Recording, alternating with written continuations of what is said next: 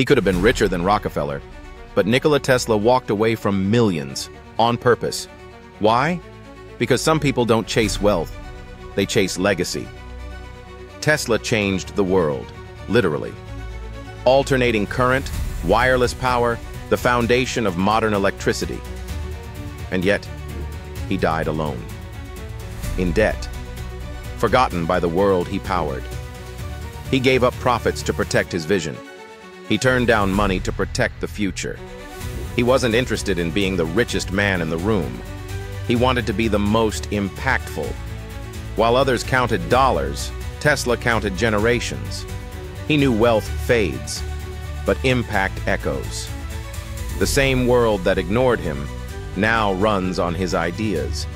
Because true greatness doesn't need applause, it just needs courage. So let me ask you, would you rather be remembered for a moment or remembered forever? Drop A if you're building something bigger than just yourself.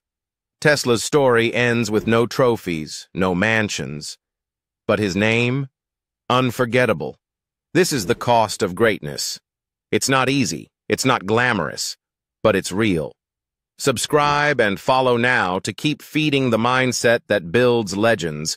And remember, wealth fades, legacy stays.